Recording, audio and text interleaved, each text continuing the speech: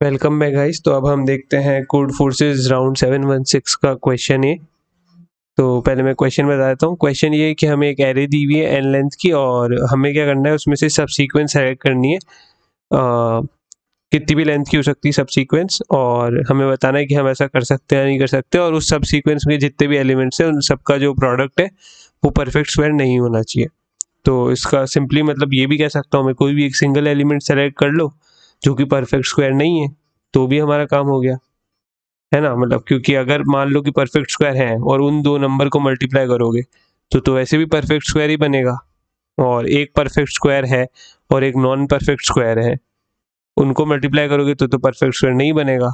और ऐसे केस में तो अभी मैंने बोला कि सिंगल एलिमेंट जो है, जो कि परफेक्ट स्क्वायर नहीं है, वो खुद भी तो मतलब एक सब सीक्वेंस है तो वही आंसर हो गया। तो मतलब हम सीधा कह सकते हैं कि अगर वैसा मिला तो ही आंसर होगा, अगर नहीं मिला तो आंसर ही नहीं होगा। नहीं मिला इसका मतलब क्या है कि सारे स्क्वायर वाले नंबर है परफेक्ट स्क्वायर और perfect square into perfect square भी एक परफेक्ट स्क्वायर होगा। तो कोई मतलब ही नहीं है। इसका मतलब कोई भी एक ढूंढ लो ऐसा, जो कि परफेक्ट स्क्वायर नहीं है। तो हमें हमारा सबसीक्वेंस मिल गया। तो हम यस प्रिंट कर देंगे, वरना हम नो प्रिंट कर देंगे। सिंपल है, इसमें मतलब ज़्यादा कुछ लॉजिक है ही नहीं। तो अपन सीधा कोड ही देख लेते हैं।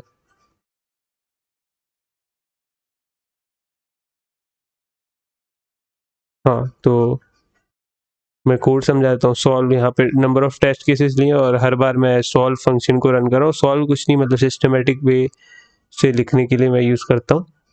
मतलब अभी से मैंने चालू किया है तो इससे क्या है कि सिस्टमेटिक रहता है और हाँ तो आप लोगों को समझ में भी आसानी से आएगा। तो जैसे मैंने इनपुट ले लिया एन फिर एरे का इनपुट ले लिया, फिर उसके बाद मैंने ये स्क्वायर रूट निकाल लिया। आप फ़ंक्शन भी यूज़ कर सकते हो, बाकी मैंने मतलब सिंपल तरीके से भी निकाल के देख लिया कि भाई सारे जे जे मल्टीप्लाई करता जा रहा हूँ मैं।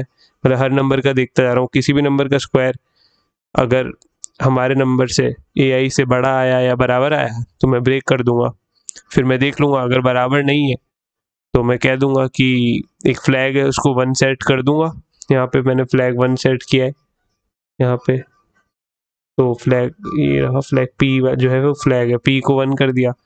तो अगर पी वन है तो इसका मतलब कोई नंबर ऐसा हमने ढूंढ लिया है जो कि परफेक्ट स्क्वायर नहीं है। तो हमें क्या आउटपुट करना है? यस और अगर पी ज़ीरो ही है, जो ऑलरेडी इनिशियल वैल्यू थी, इसका मतलब ये है कि हम बिना परफेक्ट स्क्वायर वाला नंबर फाइंड ही नहीं कर पाए।